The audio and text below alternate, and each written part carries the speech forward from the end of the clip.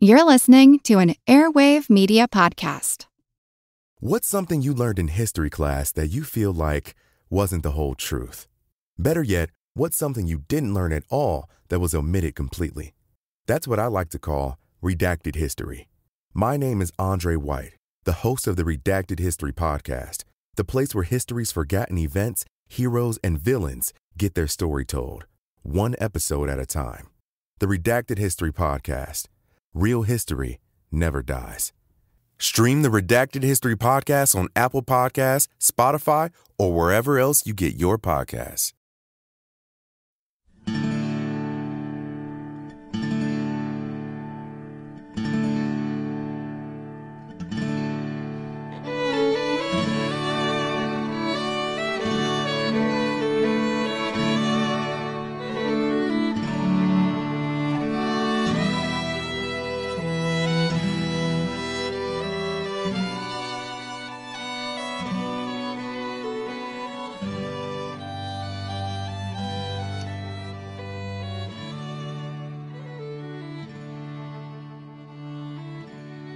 Hey everyone, welcome to the 365th episode of our Civil War podcast. My name is Rich. And I'm Tracy. Hello, y'all. Thanks for tuning into the podcast.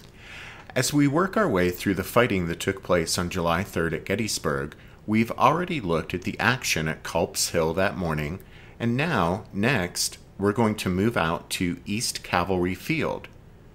The Confederate cavalry commander, Jeb Stuart, had arrived at Gettysburg the previous day, on the afternoon of July 2nd, after his long ride around the Army of the Potomac.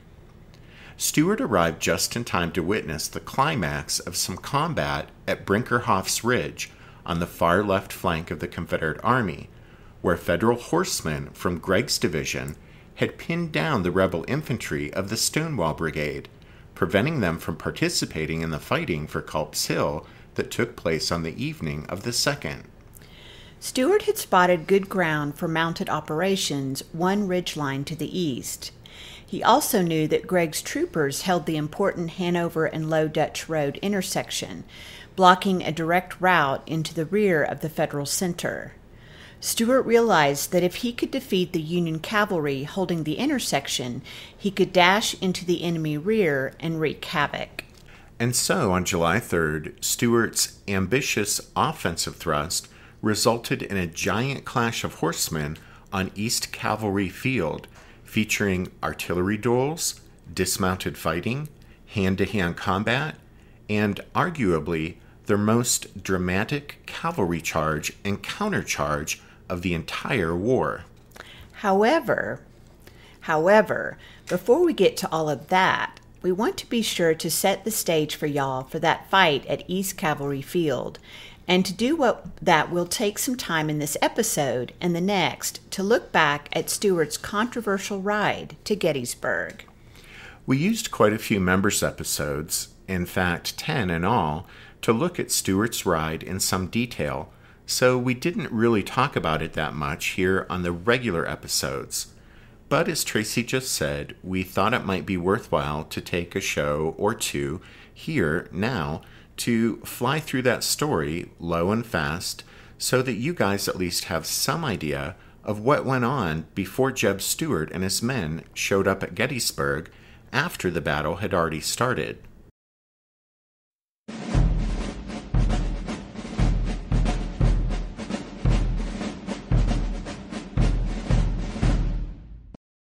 In late June 1863, Major General James Ewell Brown Stuart and three brigades of veteran Confederate cavalrymen began a fateful ride into enemy territory that has been one of the most hotly debated topics of the Civil War ever since.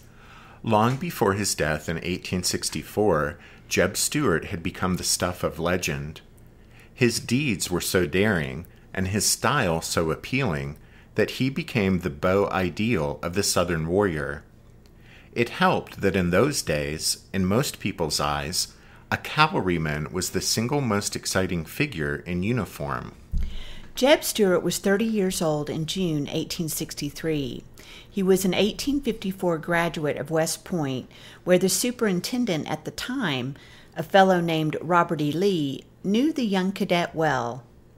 When Virginia seceded in 1861, Stuart resigned his commission and became colonel of the 1st Virginia Cavalry Regiment. He became famous almost immediately after leading a charge at the First Battle of Manassas in July 1861. Stuart was promoted to brigadier general in September 1861 and gained immortality for his so called ride around McClellan during the 1862 Peninsula Campaign. A promotion to Major General followed in July 1862, and he assumed command of the Cavalry Division of the Army of Northern Virginia, a post he held until his death. As y'all will recall from the Chancellorsville story arc, Stuart assumed command of Stonewall Jackson's corps after Jackson was severely wounded by friendly fire at the end of the second day's fighting there. By all accounts, Stuart performed superbly under extremely adverse circumstances. Jackson's corps bore the brunt of the fighting at Chancellorsville, and Stuart, who had never before commanded infantry, played a major part in the Confederate success. Stuart reportedly wanted, but did not receive, permanent command of Jackson's corps after Chancellorsville. Instead, Robert E. Lee reorganized the Army of Northern Virginia from two infantry corps to three and promoted Dick Ewell and A.P. Hill to lieutenant general, assigning them to command the new corps alongside Lee's old warhorse, James Longstreet. Some historians have speculated that Stuart was desperate for his own promotion to lieutenant general, and that he felt slighted by being passed over for promotion and corps command. On June 9, 1863, the Federal cavalry got the drop on Stuart at Brandy Station. The Yankee horsemen nearly defeated their Confederate counterparts in a day of fierce fighting that became the largest cavalry battle in American history. The Richmond newspapers roundly criticized Stuart for being surprised at Brandy Station, and this negative press didn't sit well with him at all. In the wake of his nearly disastrous June 9th battle with the Yankee horsemen at Brandy Station, Stuart redeemed himself by actively and diligently screening the movement of Lee's army toward the Potomac River as the rebel infantry headed north for Pennsylvania. In Virginia, in the Loudoun Valley, at Aldie, Middleburg, and Upperville, Stuart successfully fended off the Federal cavalry's attempt to punch through the screen of rebel horsemen as the Yankees tried to find the main body of Lee's army. He didn't win every fight, but nevertheless Stuart managed to succeed at preventing the enemy from locating the rebel infantry as it tramped northward through the Shenandoah Valley.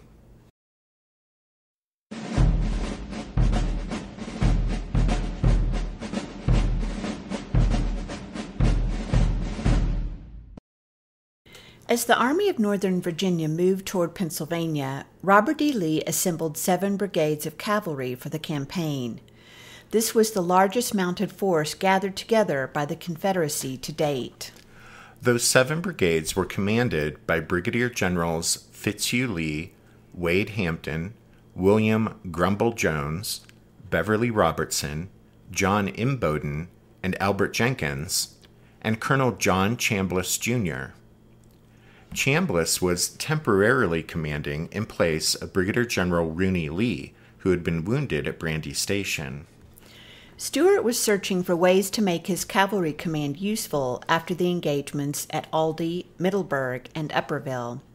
He actually already had an idea in mind. He would later write, quote, I began to look for some other point at which to deliver an effective blow. I submitted to the commanding general the plan of leaving a brigade or so in my present front and passing through some gap in the Bull Run Mountains, attain the enemy's rear, passing between his main body and Washington, and cross into Maryland, joining our army north of the Potomac. In other words, Stuart wanted to take most of the Confederate cavalry cut away from the main body of the Army of Northern Virginia ride around the Yankees, and then link back up with Robert E. Lee somewhere north of the Potomac River. Some historians have speculated that the criticism leveled at Stuart after Brandy Station led him to look for a way to redeem his now tainted reputation and regain his accustomed role as the darling of the Southern newspapers. These historians claim Stuart wanted to do something spectacular in order to regain the limelight that he had lost in the wake of his nearly disastrous June 9th battle with the Yankee horsemen at Brandy Station. According to this school of thought, Jeb Stuart now saw a seemingly golden opportunity to recapture the glory of his two previous rides around the Army of the Potomac. However, regardless of his motivation, ultimately the buck stops with Robert E. Lee because the Confederate commanding general approved this idea of Stuart's. Lee himself, in his report of the Gettysburg campaign, would write, quote, Upon the suggestion of General Stuart that he could damage the enemy and delay his passage of the river by getting in his rear, he was authorized to do so. Cutting right to the chase, in his post war writings, Colonel Edward Porter Alexander, the artillery officer in Longstreet's Corps, made the observation that, quote, Stuart made Lee a very unwise proposition, which Lee, more unwisely, entertained. Lee's final orders to Stuart were issued on the evening of June 23rd.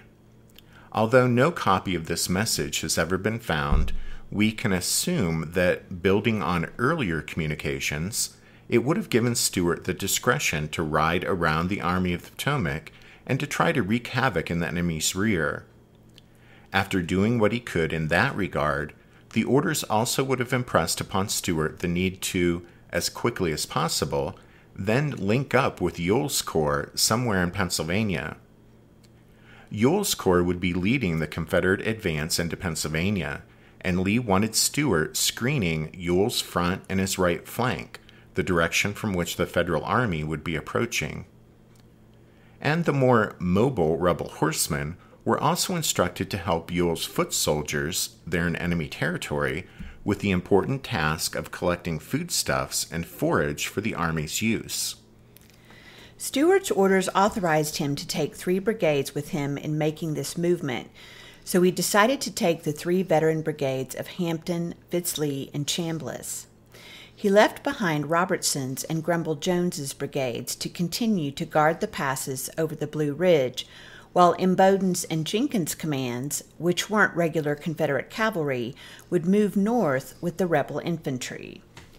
With his three best brigades ready to start out early on the morning of June 25th, Stuart sent 16 year old Private John Parke of the 6th Virginia Cavalry off on the night of the 24th to carry a message the 30 miles to Robert E. Lee's headquarters. That message would be the last that Lee would hear from his cavalry commander until Stuart showed up at Gettysburg over a week later on July 2nd.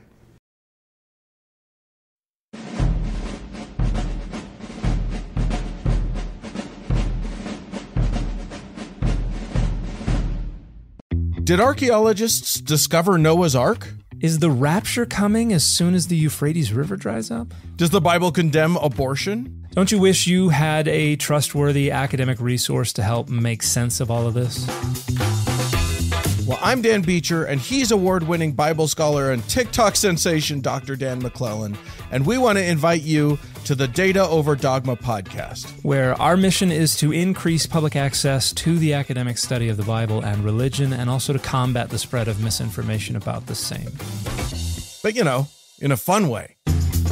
Every week, we tackle fascinating topics. We go back to source materials in their original languages. And we interview top scholars in the field. So, whether you're a devout believer, or you're just interested in a clear eyed, deeply informed look at one of the most influential books of all time, we think you're going to love the Data Over Dogma podcast. Wherever you subscribe to awesome shows.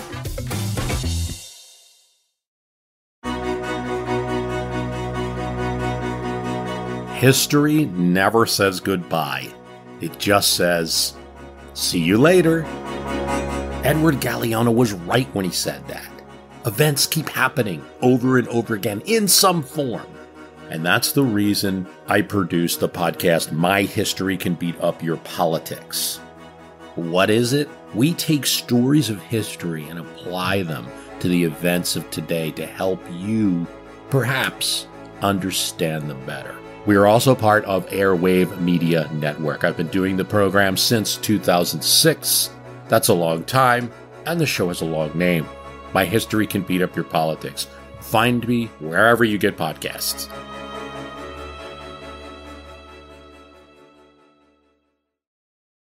So, given the high stakes that were involved in his invasion of Pennsylvania, why did Robert E. Lee let Jeb Stuart ride off away from the Army?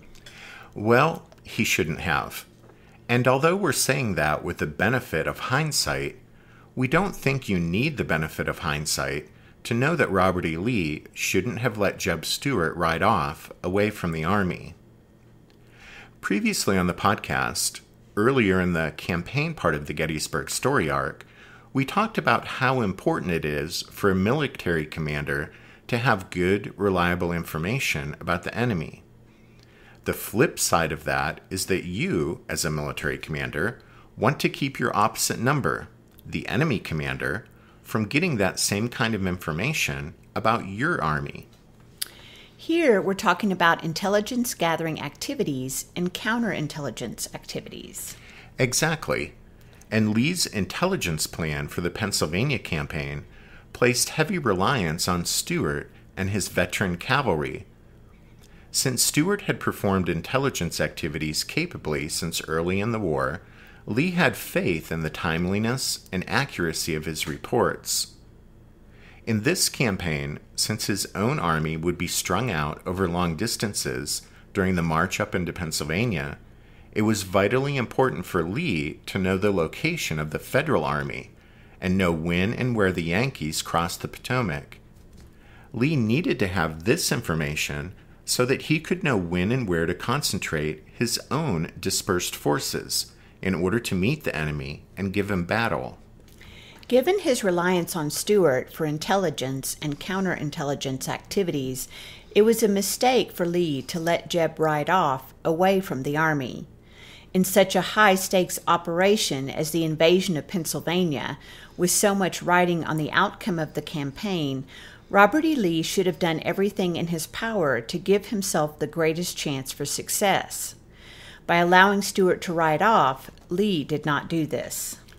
Given the importance of Lee's invasion of Pennsylvania and the critical role he expected Stuart and his cavalry to play in the campaign, the Confederate commander ought to have given Stuart clearly spelled out orders, which would have ensured the rebel horsemen carried out their assigned tasks of screening Ewell's advance and keeping close tabs on what the Federals were up to but instead Lee endorsed Stuart's scheme to ride around the rear of the Yankee army before he linked up with Ewell in Pennsylvania.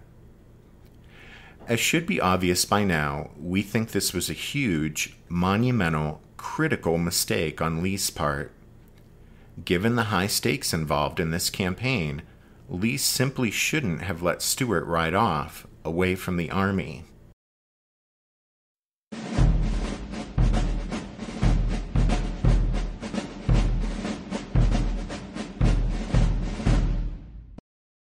June 25, 1863, proved to be a fateful day for the Army of Northern Virginia. By 1 a.m. on the morning of the 25th, Jeb Stuart had his column underway.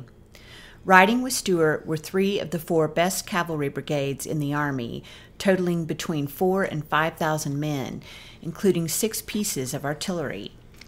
Remaining behind to guard the Blue Ridge passes would be the two brigades of Beverly Robertson and Grumble Jones. Truth be told, Stuart had a low opinion of Robertson and didn't like Grumble Jones, although he at least respected Jones' abilities as a veteran officer.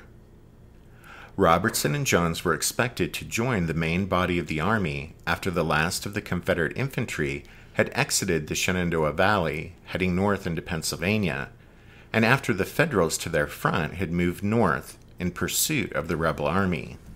In other words, Robertson and Jones were supposed to remain in position until the coast was clear, then follow the rest of the army up into Pennsylvania. Exactly. And in addition to leaving behind Robertson and Jones, Stuart knew that John Imboden had 2,000 mounted infantry who could cover the army's left, while Albert Jenkins commanded another large force of horsemen who were accompanying Ewell's columns as Ewell spearheaded the Confederate advance into Pennsylvania. However, neither Imboden's men nor Jenkins' command were regular Confederate cavalry, and so shouldn't have been counted on to carry out the duties of Stuart and his veteran horsemen.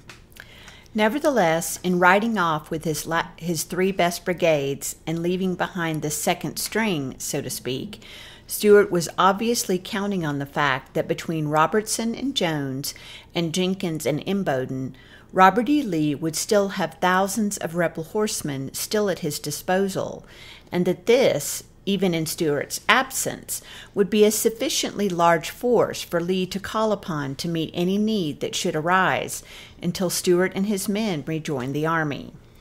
However, while that is probably exactly what Stuart was thinking, his judgment in this matter, when weighed against the reality of the situation, is just as questionable as Lee's decision to let him ride off, ride off in the first place. And that Lee's judgment was questionable can be seen in the fact that when Stuart set off early on the morning of the 25th, Robert E. Lee certainly would have expected, realistically, to lose contact with his cavalry commander for several days even under the best of circumstances. Once he started out, Stuart couldn't, realistically, hope to cover the intended distance and link back up with the army somewhere up in Pennsylvania in less than three or four days, all the while deep in the enemy's rear and without any means of regular contact with Lee. Stuart's intended route covered about 110 miles from his starting point at Salem, Virginia, to the neighborhood of Hanover, Pennsylvania, where he would have expected to gain solid information about the exact whereabouts of Ewell's Corps as it spearheaded the march of Lee's army into the Keystone State. This 110 mile ride would take a minimum of three days, likely four without even accounting for any delay caused by unexpected complications. And as we'll see, right from the start of Stuart's ride, there were unexpected complications.